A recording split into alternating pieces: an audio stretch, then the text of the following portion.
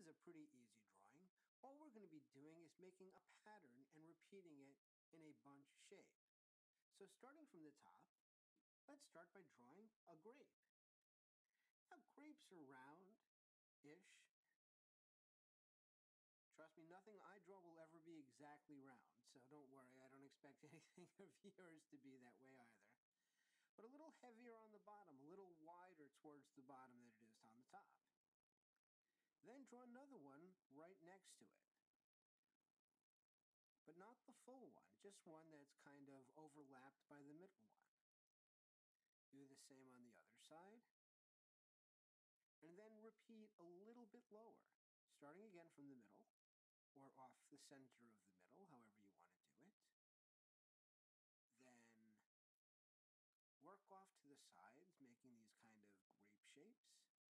grape shapes. The same thing to the right. Remember, we're always working off of the middle. So we start off a grape in the middle like that. And then we draw them to the right and we draw them to the left. Now at this point, you're going to want to have gone about as wide as you're going to go after about three rows like that. And start getting narrower you're down to one grape, as bunches of grapes are traditionally drawn. So let's continue. Now because I used a green pen, these are green grapes. If you use a purple pen or a black pen, some sort of a pencil, oops, start from the center. Don't get lazy, like I almost did. So what happens, are all different sizes. Don't worry if they're not completely even. I've forgotten what I was talking about, which is probably for the best.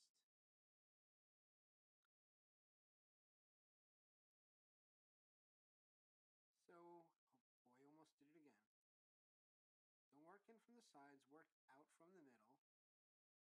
And eventually you want to be down to about three grapes, like we are right can kind of make one big grape down at the bottom.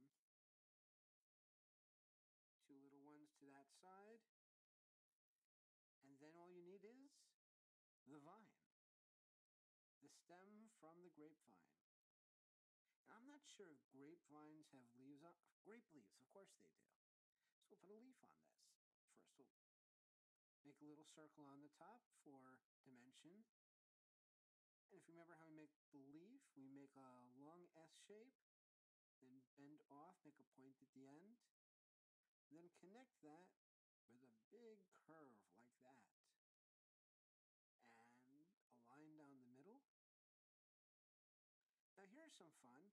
We're going to shade every one of these grapes. And as usual, the light will be coming from this direction. So we'll be shading the left side of every single grape.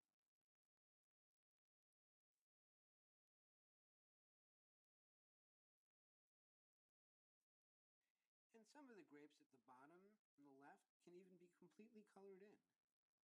So they would be completely shadowed from the light.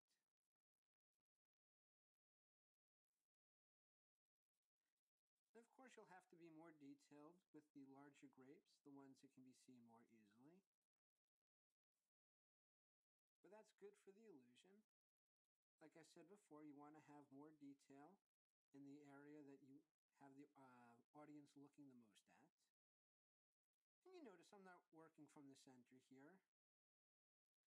The outlines have already been made.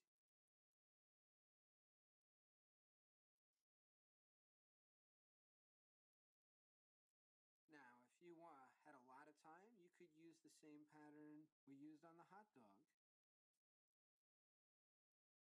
Just colored these in completely and just left little shiny parts instead of putting shadows. Say there's no wrong way to do this, but I have a feeling that's a challenge somebody would be up to. uh, I'd rather you try to do it the right way. Put a little bit of detail here on the leaves like that. A bit of shadowing on that too. Shadowing on the stem, just like we did with the flower, we make a line alongside of the uh, part that's away from the light source. And for good or evil, um, I don't know if uh, I'm capable of creating evil, especially not with a bunch of grapes. I think we're almost done. I don't really like the uh, shape of the entire here. So I'm going to add another row like that. Do a little bit of uh, shading. I'm probably doing a terrible job, job of shading. Uh, I'm trying to do it from sitting behind the camera. Normally I would be leaning over the picture and the result wouldn't be that much better, but there there would be some there would be some difference. Um, don't worry, as long as you're having fun drawing it, what difference does it really make anyway, right? So if you're at the grocery store, you can take a look at a, a bunch of grapes and get some ideas if you're interested in doing this project. And when you're done, you'll have something similar to this. A uh, bunch of grapes.